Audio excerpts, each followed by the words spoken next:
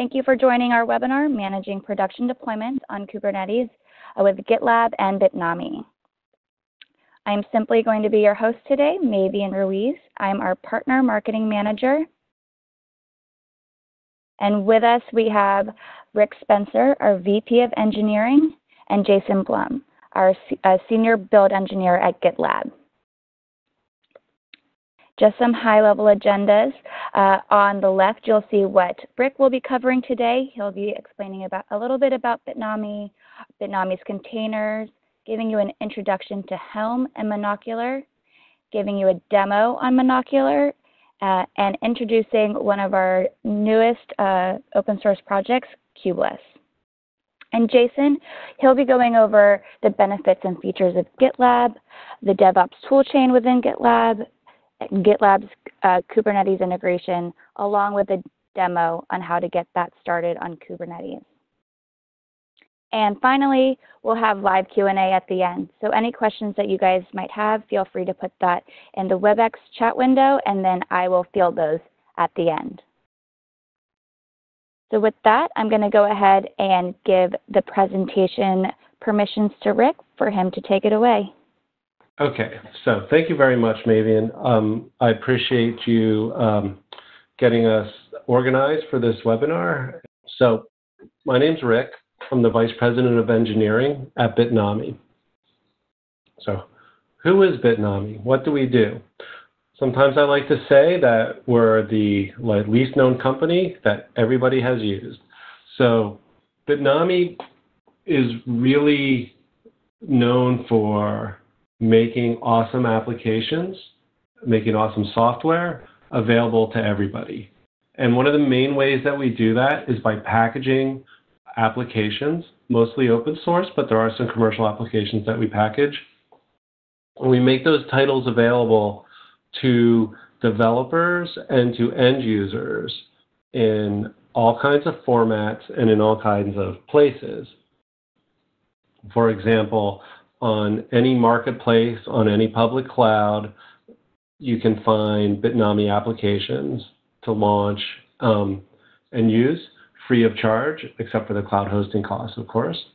We also offer things like virtual machines that you can use locally. We even offer native installers, so you can install uh, software natively on your on your um, laptops we are uh, popular enough that we have over a million, well over a million new deployments every month. So those are users coming to the cloud marketplaces and to our website to download or to simply our, launch our software that we've packaged into the cloud. And you can see some of the um, logos of some of the 150 applications that we make available.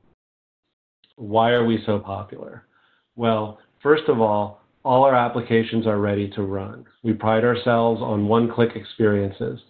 Typically, to get an application running, you simply click a button. You might need to fill in a small form for your cloud hosting provider, but everything is configured to run, and we put a lot of pains into pre-configuring things so that um, as a user, you don't have to figure out configuration options to get up and running.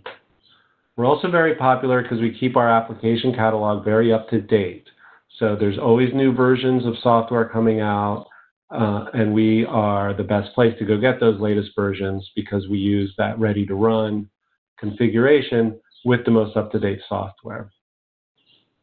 We also, when you use our software, say on a public cloud or in a format like in a container versus a VM, you're not getting a lowest common denominator experience. We target our software configuration for the environment that's going to run on or the platform that it's going to run on. So for example, if you're going to run on a certain public cloud, the software will automatically be configured to use the monitoring solution for that particular public cloud. We're also constantly tuning for performance and for security. So make sure the applications start up quickly and run quickly, and also that the configurations are secure by default. So that's Bitnami. We're everywhere. You've probably seen our logo, and that's primarily what we do. Now, saying that, one of the formats that we deliver these applications in is containers. And we're uh, very involved in the Kubernetes community. We're very involved in the Helm community. And we have a set of very popular and highly functional containers that are free to use. And I'm going to talk today, right now, about two of those kinds of containers. Uh, one kind is that what we call a development container. And these are containers that we have packaged and optimized to run locally on your desktop and just help you get developing as soon as possible. And another kind of container is a what we call a turnkey application. And I think the, the easiest way for me to explain this is just to quickly show you our web page for containers. So I'm going to go over here to bitnami.com forward slash containers. And if you come here, you can have access to all our containers. So you can see at the top here are these seven containers. These are actually delivered via Docker Compose. So it's very easy to choose one of these frameworks that you want to start with and to start developing as fast as possible. So for instance, if you're interested in Rails, you've heard a lot about Rails, you can click the button to get it on GitHub. To scroll down a little bit in the README, and you'll see that there's a command here to simply curl this Docker Compose file and then say Docker Compose up. What will happen is it'll use the Rails code generator to code, generate a starter application right on your desktop, and you can just start coding immediately. The, for example, the Docker Compose file already brings down a MariaDB container that's pre-configured to use to work with the Rails container. So you don't have to worry about any of that. You can just start getting started with your code. The other kind of container that I want to talk about is what we call a turnkey application. So these are similar. These are available via Docker Compose. We have all kinds of applications here, all kinds of developer tools. You can download these application and develop, applications and developer tools via a Docker Compose file, say Docker Compose up, and just start kicking the tires and trying these out locally on your desktop via um, Docker. So that's a bit about Bitnami and a little bit of focus on the containers that we make. But as I alluded to, Bitnami is extremely active in the Kubernetes community.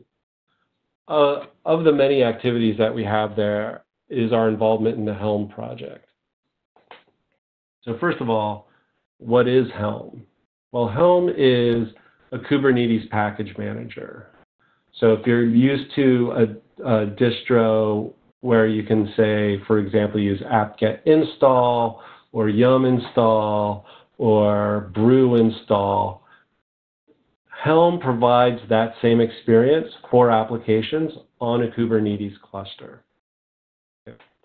So the application, the package, is called a Helm chart. So if you hear me referring to charts, I'm talking about a set of YAML files, which you can use without even looking at, a set of YAML files that collects all the necessary information together to create an instance of a Kubernetes application. So you can use commands like helm install, helm, helm update, etc., to manage applications running from the Helm command line, the Helm CLI. What's Monocular? Monocular is a application that Bitnami has invested a significant amount of effort in to make it even easier to use Helm. So first of all, it just creates a representation of a Helm chart repository. A Helm chart repository is exactly what it sounds like. It's a collection of Helm charts in a certain format so that the Helm command line can read it, but also the Helm, um, but also Monocular can read those same repositories. So it really helps facilitate the discovery of applications. As I'll show you, you can just browse applications and choose from that browsing process. And it also gives you a way to simplify installing charts and uh, managing the applications once they're running. And it provides other nice things like gives you a way to look at, at changes over successive releases on on a chart. So here's just a bit about how, how Helm and Monocular work together. So you can see on the right here that there's how that Monocular can read from one to any number of chart repositories and can combine that information together and present it. Then Monocular talks to the in-cluster part of Helm, which is called Tiller. Tiller runs in, in cluster, and Monocular talks to that through its APIs, and then Tiller can manage applications. For example, you can have a chart repo that has a WordPress chart in it, Monocular can take that chart, pass it to Tiller inside the cluster. Tiller will launch that application, that chart. You can have another repo that has Drupal in it. Monocular can read that chart, pass it along to Tiller, and Tiller can run it. At the same time, Monocular is also able to read state from Tiller. So how do you use Monocular? Well, I'm going to show you two ways to use Monocular. And the first way is on a website that we manage, that Bitnami manages, called kubeapps.com. And then the second way is that you can use it actually within your cluster. And I'm going to show you both of those via a demo. The advantage of using it in cluster is that you can use your own set of chart repositories, and you can also deploy charts with just one click. And furthermore, your end users can deploy charts with just one click. So um, maybe, and I'm going to move on to a quick demo now. Does that sound good? Sounds good. Great. Okay. So this is kubeapps.com. Kubeapps.com is, as I said, a website that we host. What kubeapps.com does is uses the monocular front end, the monocular GUI, and if I, I'm going to click on charts, and this will give me a chance to see what repositories or what um, chart repos it's uh, Kubeapps is looking at. So I'm going to click on charts, I go to the charts page, and you can see I can organize the charts in different ways. One of them is I can um, filter it by the repository that it's pointing at. By default, kubeapps.com points to only the official Helm repositories at the moment. It, we will probably enhance it to report to other good repositories in the future of like well-vetted charts that we trust. But right now, it only looks at the up, at the upstream Helm official charts, and it looks at the stable and at the incubator repositories. So I'm going to click on stable, and this will filter out all the charts that are just in the incubator. Okay, and so then you can see there's still quite a few charts. These are all applications that I can learn about here that are all packaged for Kubernetes as charts. Okay, I'm going to pick on one, DokuWiki. This is one that a lot of users will launch a DokuWiki at the beginning of a project. And you can see that when I clicked on the DokuWiki link, it gave me a lot of information about the chart. So it reads all the metadata and presents it in a very easy to read format. And it gives you commands that you can use to install it. And it even gives you a little button that you can use to, to copy this chart, uh, this command, and then you can paste it into your command line if you want to install it on your own on your own uh, Kubernetes cluster. And as I said, you can browse here through older versions if you want to look at older versions or if you need another version. It gives you a really easy way to browse versions. Okay, so this is kubeapps.com. It's a great way to discover and to browse applications that are available for the for your Kubernetes cluster, that you can just launch these applications directly. Now, however, if you look here, we actually have a Kubernetes cluster running, and you can see that there's quite a few things on it. So here's our Kubernetes cluster running. One of the things that I have running on here is Monocular. Okay, so let me go here, and this is the UI for Monocular, for Helm running on the cluster itself. So it's being served from the cluster. So as I access it from the cluster, these are all applications now that are available on that cluster. And you can see it looks like pretty much everything that's in the stable repository. But because it's our own cluster, or actually it's a cluster that we set up with GitLab, we actually point to a custom repository. So I'm going to click on charts again. And this time, you'll see that there's a GitLab repository in here. So GitLab hosts a repository of their own charts. And so I configured Monocular to talk to that repository, and now I'm filtered to just what's in GitLab's own repository. Now, uh, Jason actually already launched GitLab from, from here, from Monocular, so I'm not going to do it now. But one interesting thing is, as I said, Monocular is talking directly to Tiller right now. Tiller is the in-cluster component of Helm that manages the state of the applications that are running. So what I'm going to do is click on deployments here, and this is new because it's running in cluster, I can actually make deployments. And let me show you. If I wanted to, I could click on GitLab here, and you see there's a button here that says install GitLab.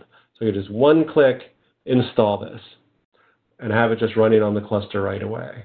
But as I said, Jason already did it, so I'll just go look in deployments, and you can see here, these are applications that we all ran with Helm already. So, and you can see one up here is the GitLab application that we ran with Helm. So that is how Monocular works both um, as a way to browse applications at kubeapps.com and also uh, as something that you can use in your cluster to launch and manage applications in cluster. Okay, so um, maybe in, should I go on to Kubeless, or is Jason ready for his part? Looks like Jason is in. I'm not sure if his audio is currently working. Jason, are you able to present? I believe so. Okay, why don't we turn it over to Jason then? Okay.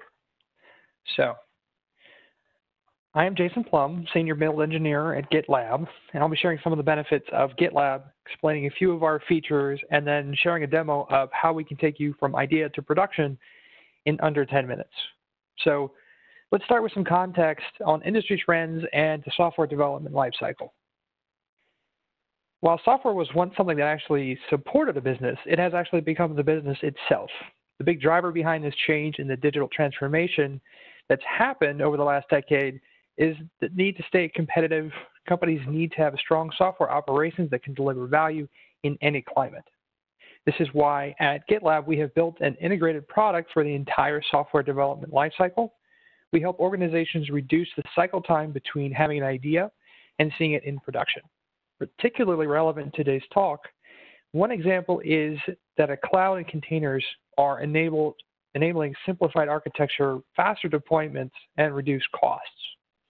The speed and stability of containers are undeniable with an entire runtime environment, application, all of its dependencies, libraries, and other binaries in a single package. They provide a solution to the problem of how to get software to run reliably when moved from one environment to another. So how can development teams keep up? By prioritizing both speed and quality. Applications today must be agile in their delivery, and teams who are building and deploying software need to collaborate throughout the entire development lifecycle. Organizations must now learn to use and use tools and be able to optimize for speed and quality to meet these demands. It sounds daunting, but it doesn't have to be. Uh, adapting to these demands simply requires removing unnecessary layers of process from the workflow and automating as much as possible. This is what we aim to achieve with GitLab. It all comes down to your tool chain. GitLab has transformed how development teams get from idea to production, saving them time while increasing development velocity and code quality. Our workflow prioritizes autonomy, collaboration, and automation, all of which are essential for DevOps success. In just a few minutes, you can deploy GitLab to a container schedule, add continuous integration and deployment with automatically deployed review applications, utilize chat ops, and analyze your cycle time. Building on our master plan at GitLab, we truly deliver the entire DevOps toolchain. If you want to design, code, build, deploy, and monitor an application, you can now do all of that straight from one application that is GitLab. Development teams will always need project management tools, so why not just bake them into one environment where you work? This naturally unifies project management within the development process. We have made many enhancements to issues, a core part of collaboration and project management within GitLab. This includes weights, linking to merge requests, related issue boards, and providing a simple mechanism for workflow management across all stages. By keeping everything in a single tool, you avoid the lack of transparency that can hinder a team. We advocate that everything be done in the open so that managers and developers can easily stay on the same page in terms of what's coming next. To that end, we recently introduced burn down charts to help managers and ICs visualize their work left versus time. After this come the code, commit, and test stages of the pipeline. During these stages, our developers check in their code into a central repository both regularly and frequently. An integrated private Docker container registry means that every project can have its own space to store its images. You can leverage the GitLab CI to automate builds and test every single commit a developer makes. And then CI can automatically run tests across multiple operating systems, browsers, etc., to ensure that all commits are also healthy. Next comes the deployment. We add the ability to deploy your code to a variety of environments, all managed through a simple YAML file. You can roll back to a previous state with a click of a button if you need to, and every change can be tested in its own individual review app to make sure that collaboration is complete and easier. At GitLab, we use our review apps to spin up and delete one-off application environments for branches, allowing us to monitor changes in production before they're actually live. This way, we can measure the impact of every single change, immediately influencing the developer lifecycle because we need to get instant feedback to be able to get instant results. Thus, we can do this before putting something into production. Once the code is merged, a review app is automatically destroyed, freeing up any resources those containers might be using. We recently also added canary deployments to give you even more immediate production feedback, so you can deploy code to a small portion of your fleet, and if anything goes wrong, you can immediately revert it with minimal impact.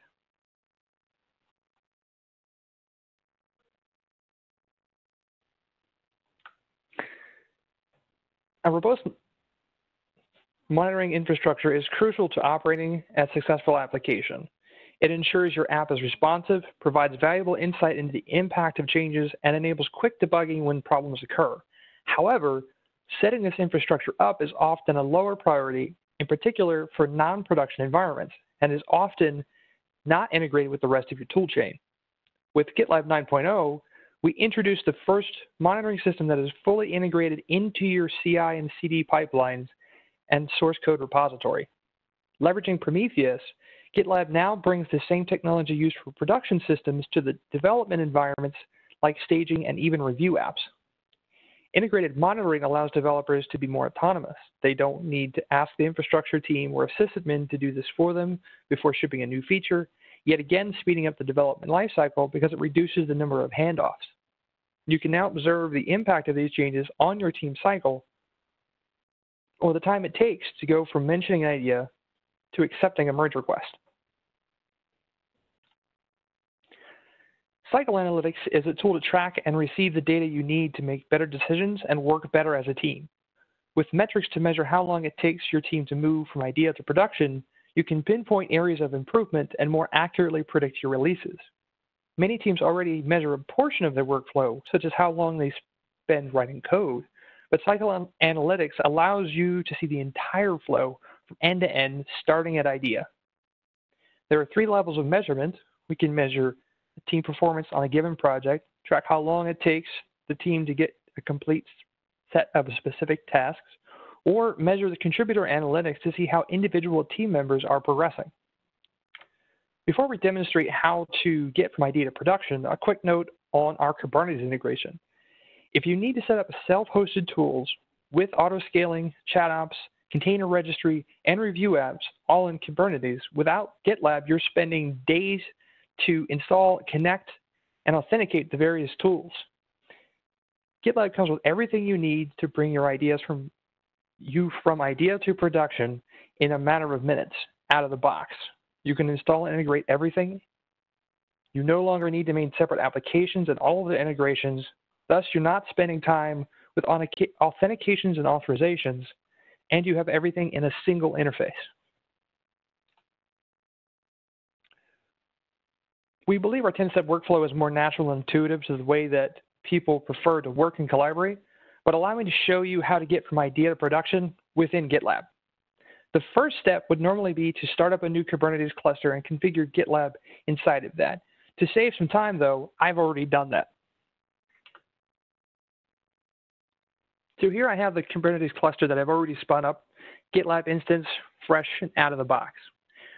One thing I'd point out is that when we do this, we automatically integrate to GitLab and its continuous deployment feature directly in the cluster that you've actually deployed it into.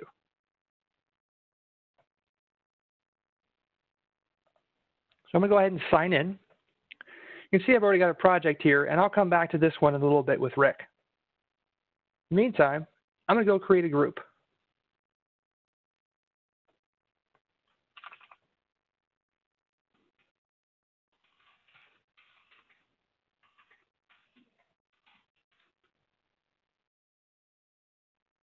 I'm going to go ahead and let it create a Mattermost team for this group.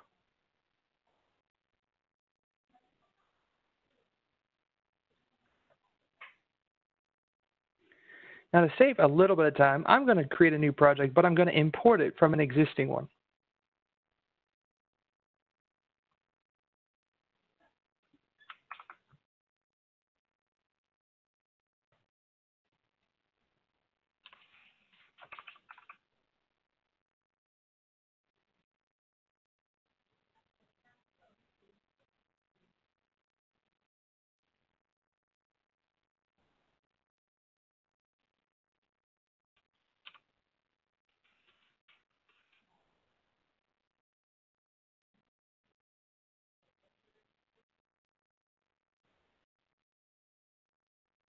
This won't take long.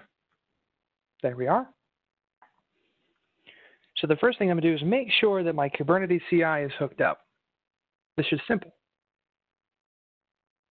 Come over to the settings, integrations, down to Kubernetes. We see that it's already pre-populated.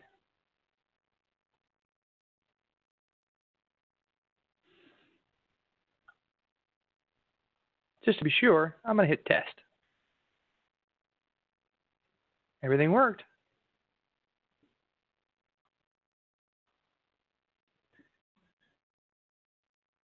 Come back to integrations, and we've actually got Mattermost integrated, which brings us to our chat.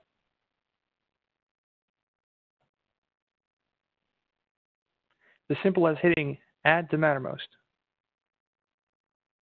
What do I want it to trigger? I'm going to go ahead and use my project name, and I'm going to say I want it part of the demo team.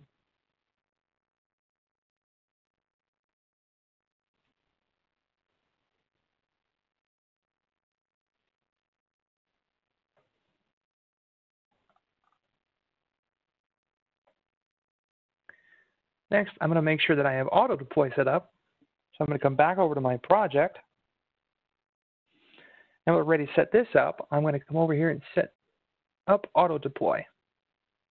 Now, we have a series of templates already in place, and I'm just going to pull it right down here and pull down Kubernetes. The only thing I need to do here is to change this out to the URL that I'm using for this demo.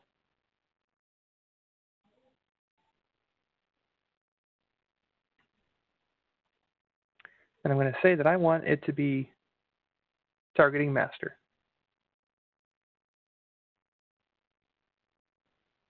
Now I have a complete GitLab CI ready to roll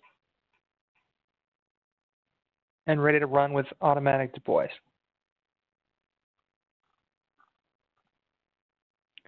So from here, I'm going to go over to our instance of Mattermost.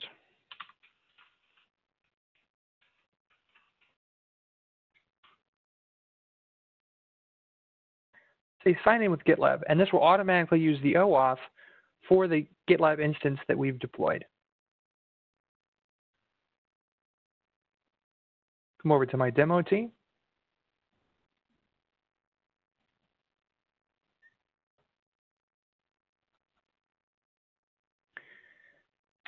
And then as I type in a slash command, you'll see that I now have minimal Ruby. So I can do minimal Ruby help and say, hey, can you please connect your GitLab account? We'll pop over, do an OAuth request, authorize, and now it's hooked up slash command so that I can run operations against our project for minimal Ruby.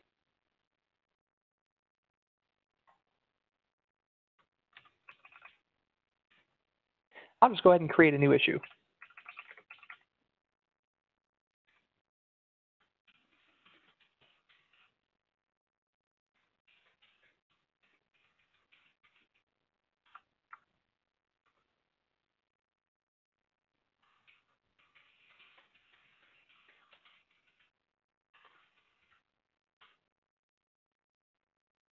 Now I have a new issue on the project and I can move forward from there.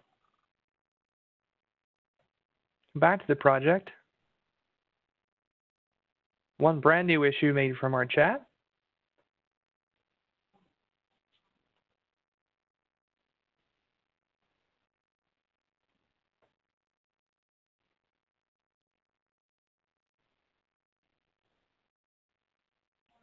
This is our deploy uh, our issue boards.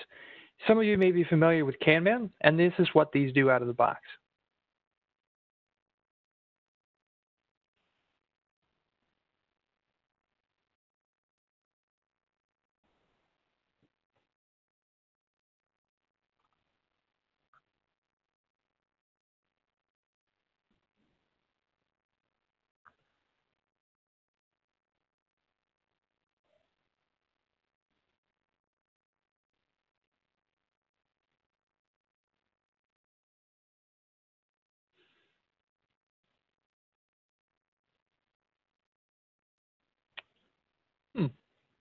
It's decided it's not going to actually. There we go. There we are. Now that we have our issues here, we can see from the backlog in the to do and doing column that if you're familiar with these, what we'll do is we'll have to do on a completely open issue, doing as somebody's assigned and working on it, and closed when it's completed. Now that we have this in place and actually in the to do, I can take that and just drag it right over to the doing column.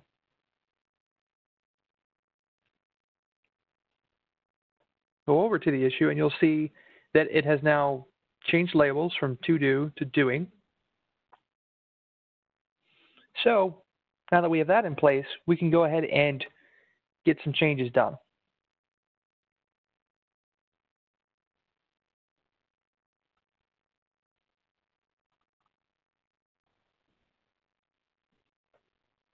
Come over to the repository, open our file, and I'm going to edit it online.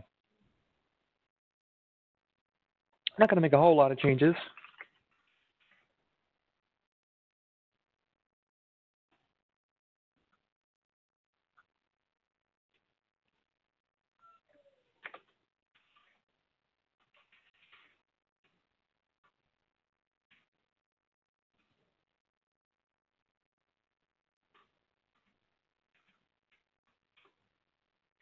And what I will do is make a new branch.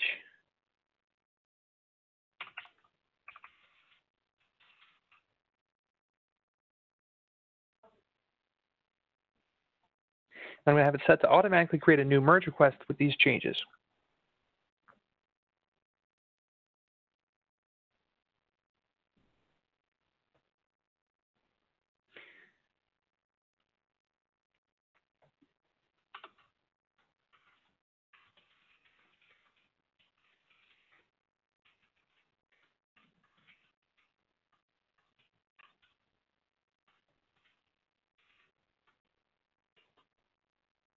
Go ahead and sign this to me.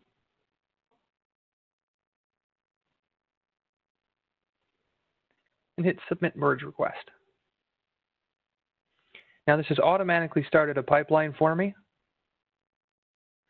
And I can go and watch these stages happen.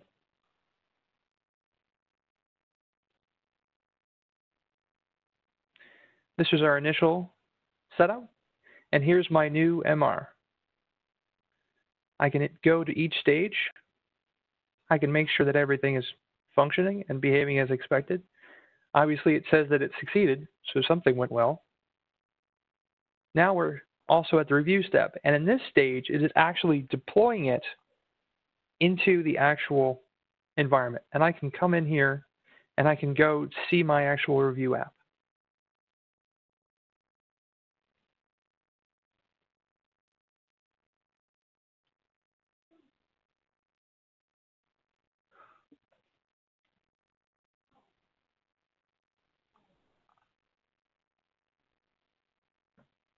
I'm going to come back, review, because I missed where the link was. Here we are, right at the top, of course. It's created the environment for me, and it's created a deployment. I can go right here and hit View Deployment. We can see that indeed it has changed the update.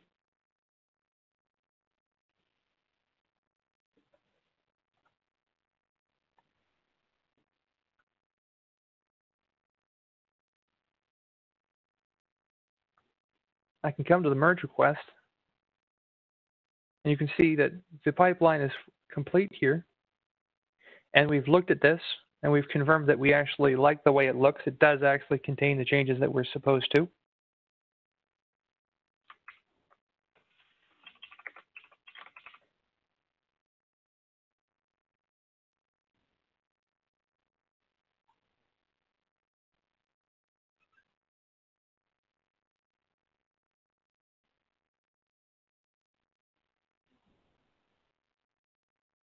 Now I can hit accept merge request.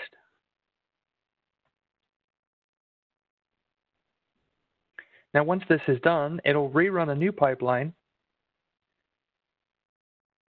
after it completes shutting down the prior one. As we said, once you merge a branch, it's automatically brought in and it will shut down any existing resources used for a review app.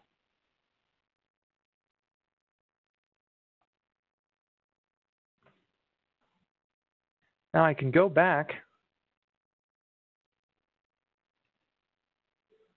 over to Mattermost back into chat ops.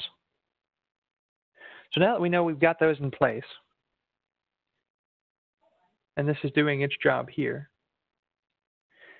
go back and rerun this. I can actually say to do the deploy from staging to production.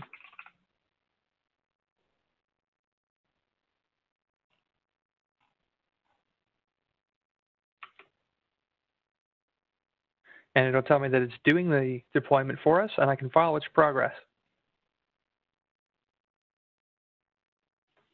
Now it's running the pipeline to do the actual deployment from our staging environment after the review app was merged to actually push it all the way out into production.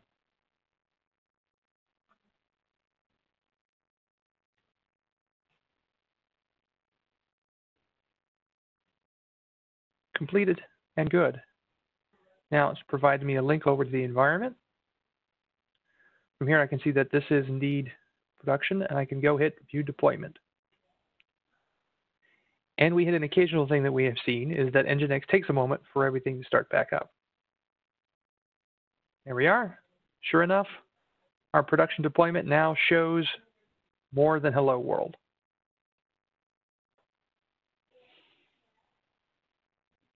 Now, I can go back to environments over here and I can look at some of the statistics of everything that's been going on. Right here on the right, I'm going to follow staging over and look at what our monitoring has been showing. You can see the CPU utilization span in the past and it will continue to track for the future and how much memory we're using.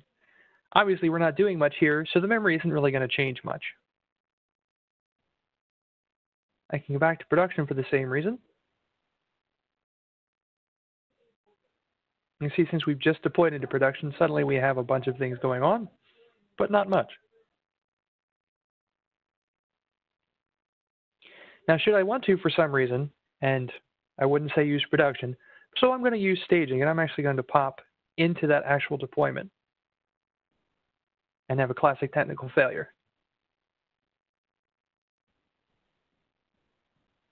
Okay, well, this does work normally. It's decided to bite me. Least it's not USB.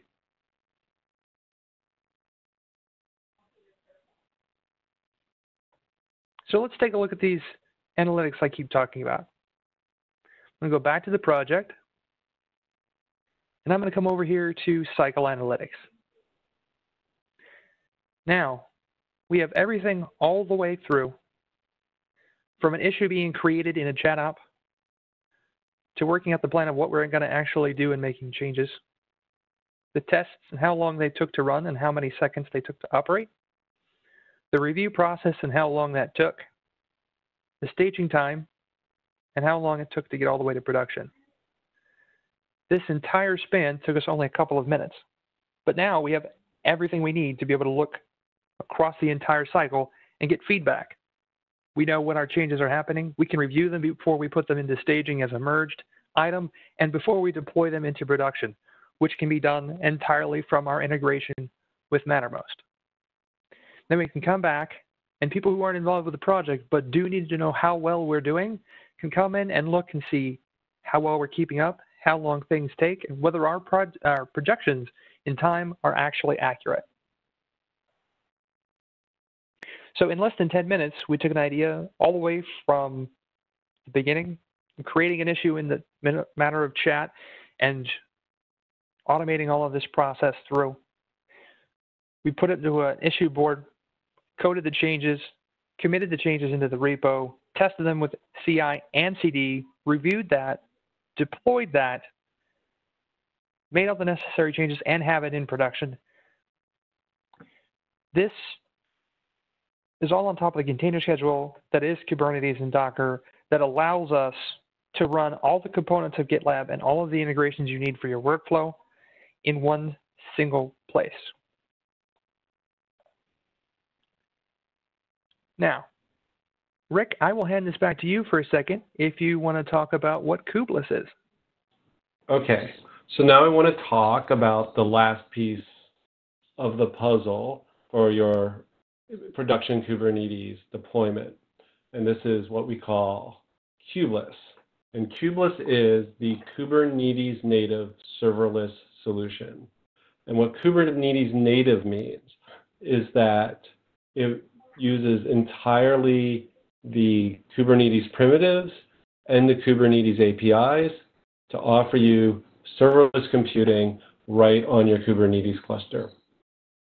What is serverless computing? Well, that is a way to simply write a function, focus on your function, write a function that works, and deploy the function to your cluster. So you don't have to create a container, create a Kubernetes deployment as if you're making a whole application, lets you focus on just creating one useful function and deploying that function itself and I'll show you in a minute how easy that is. But like, what what do people use serverless for? Well, they use it for things like quick integrations between applications running on a cluster, or they use it for extending features of an application on the cluster, especially if that application offers an API. People even use it to make different ways of monitoring or interacting with their Kubernetes cluster themselves. itself. So um, every function is either uh, triggered by an HTTP call or it's triggered from a, a pub sub. So pub sub means that applications can public, publish events to, to Kafka and your function can subscribe to those events and then publish other events themselves. So Kubeless is brought to you by Bitnami, but it's entirely open source. So at the end, you'll see there's a link um, where you can go and you can do pull requests, you can log issues, you can use it. It's totally free to use. So um, as I said, it's it's very functional now, but it's new, and we have some things coming up on the roadmap. Like next week, um, well, now you can try. We have a GUI for it, which makes it quite easy to use, and we're going to be focusing on some usability areas like like faster starts, and also um, decreasing the amount of resources that it uses by pod sharing. And that all be clear in a moment. So I'll show you here um, I have the kubeless CLI entered. And the kubeless CLI lets me do important things like managing functions. So first I'm going to see if there are any functions already on my cluster. And I'm going to use the kubeless function list command.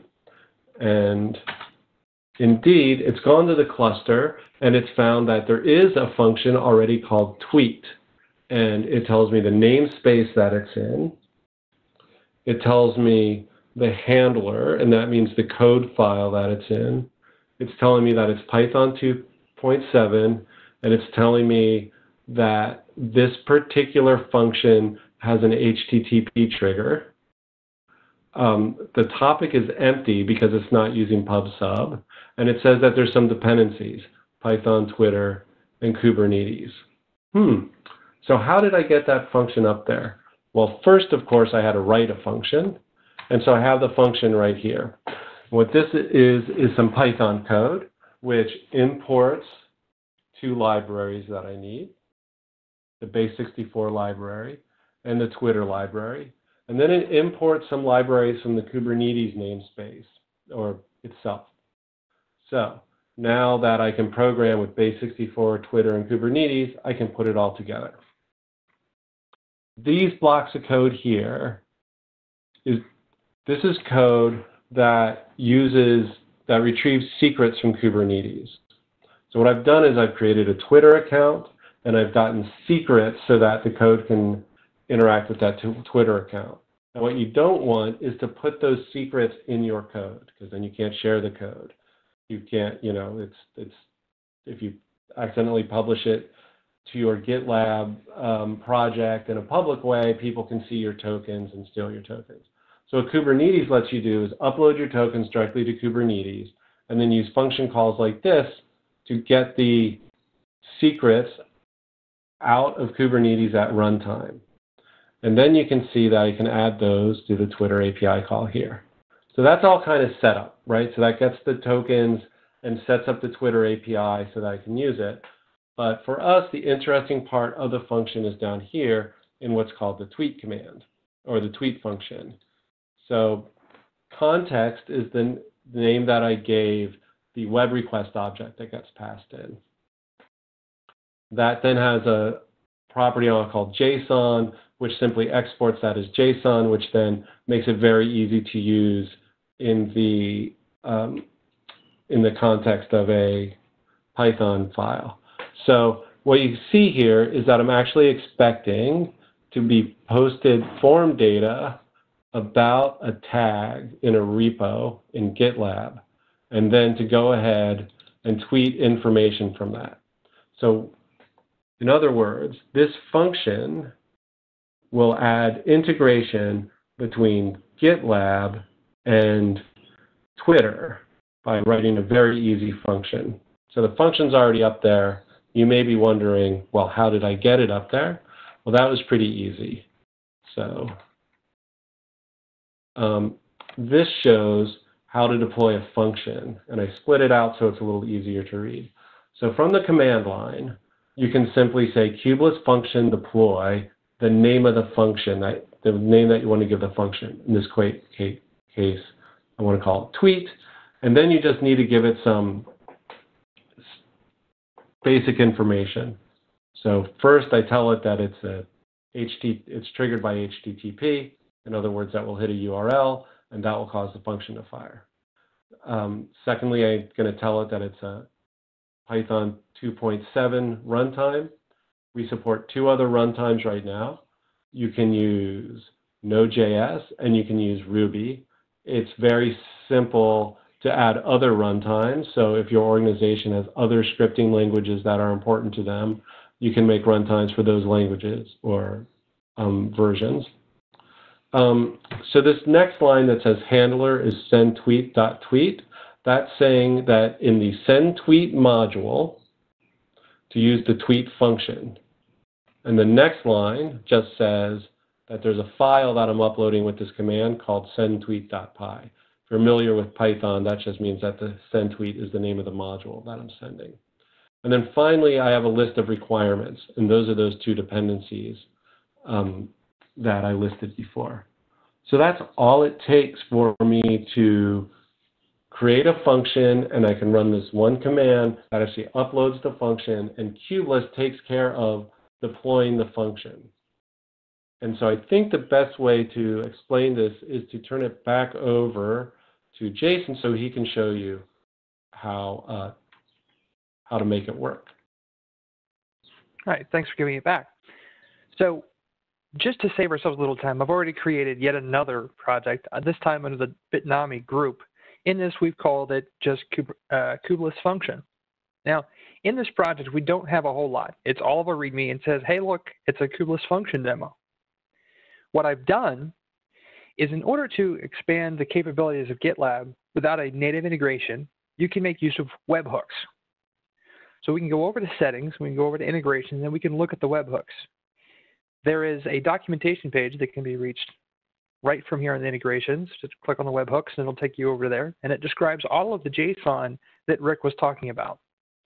Now, what I would normally do is I would put in a URL and then I would give it a secret token if we so decided to set that up with a remote service of some kind. And then I would set which triggers I want to actually cause the call of that particular webhook. And what will happen is it will perform a post request in the background with the web form filled in with all of the JSON data that we need.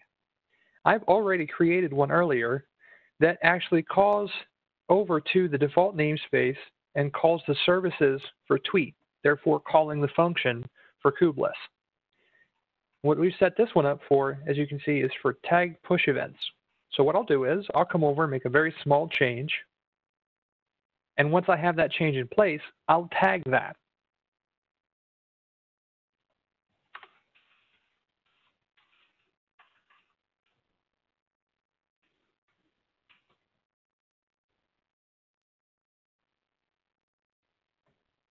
Okay, now we have the changes in place.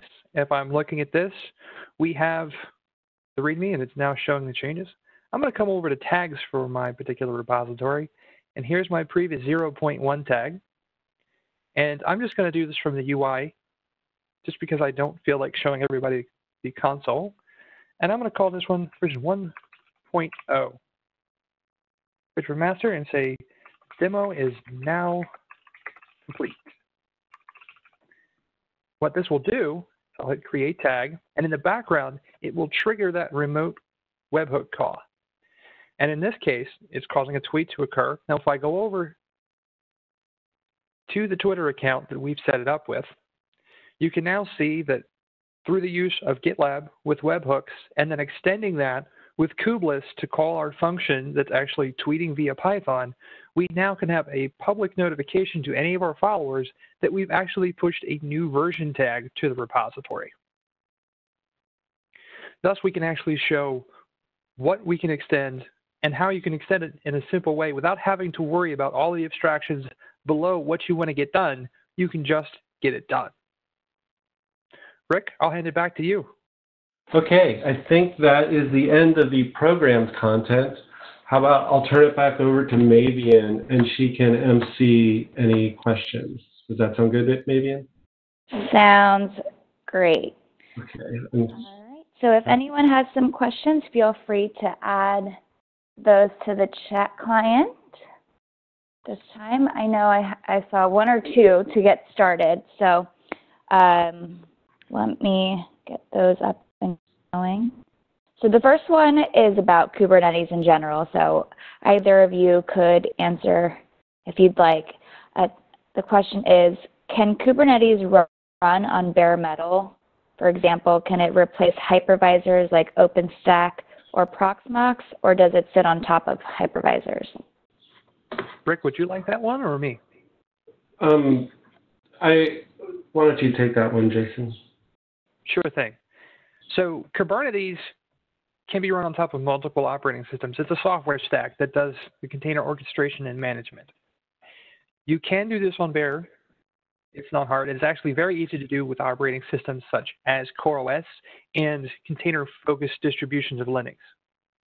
You can use it on top of a hypervisor, similar to the way that this demo was actually run today, which is actually running on Google's container engine running on top of KVM that they're running on their Linux servers. So it runs both ways. You can run it on a bare metal box. You don't require a KVM, but it runs perfectly fine in KVM.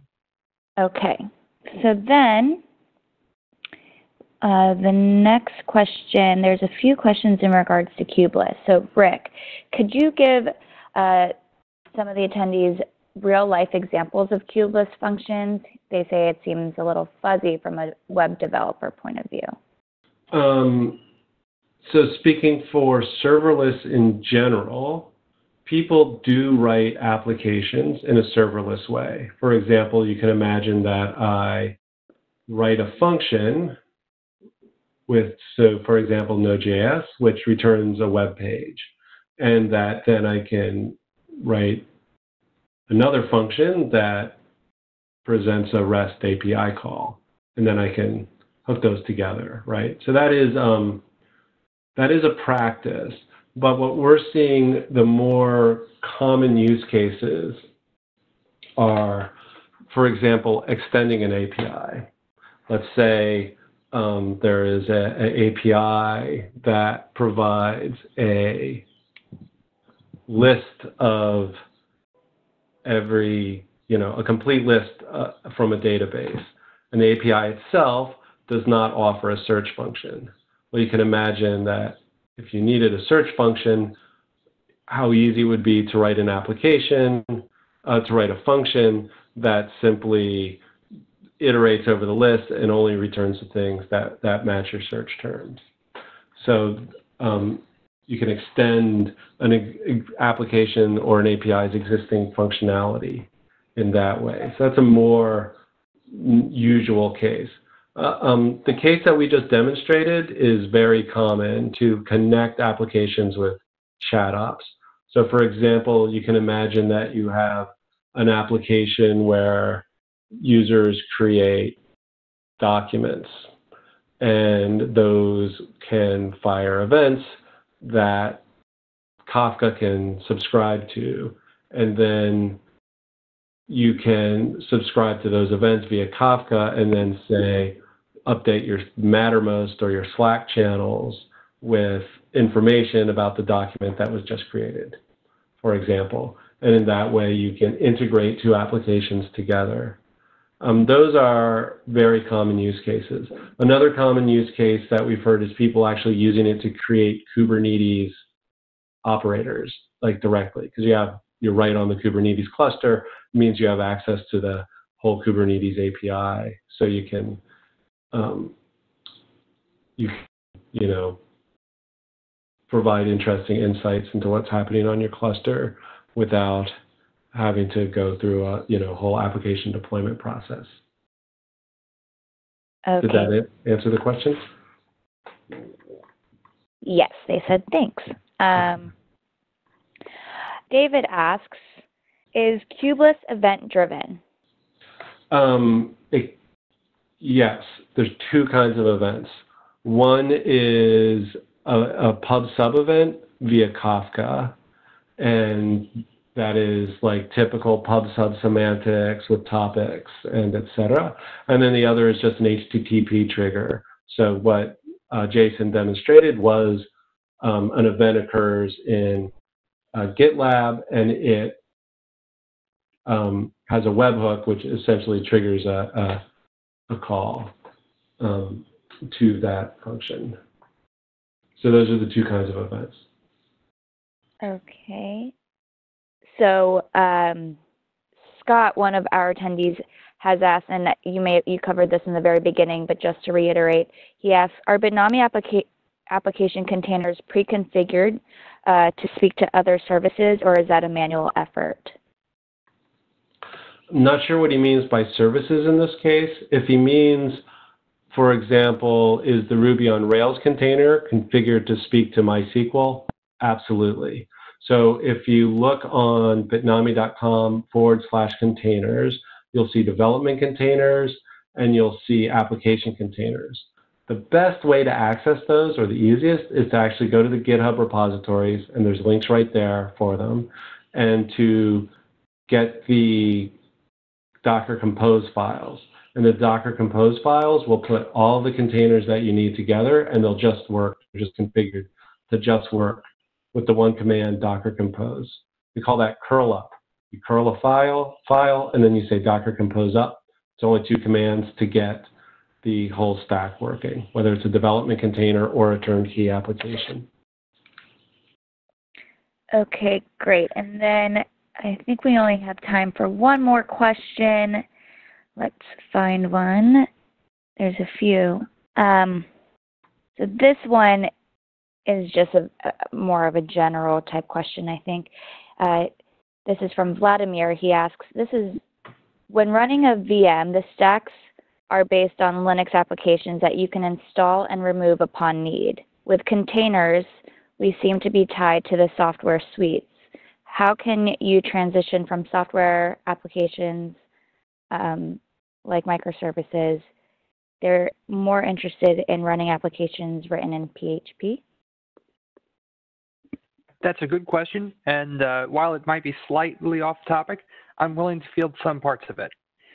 So your familiarity is with individualized systems and having the chunks that you need individually installed, probably prepared through, let's say, Vagrant and Chef, right?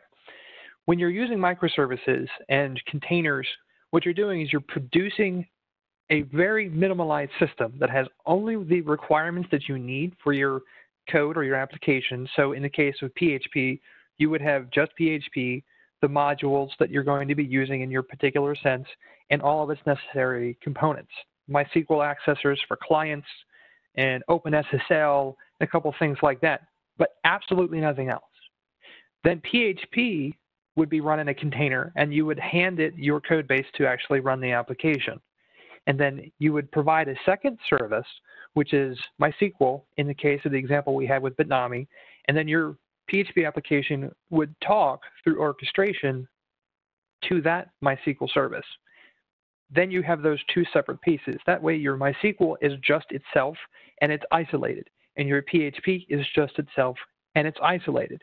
While this is similar to how you would lay out a PHP server and you'd have MySQL on a large host and then have multiple front-end servers that were actually doing the PHP responses so that you can balance that load.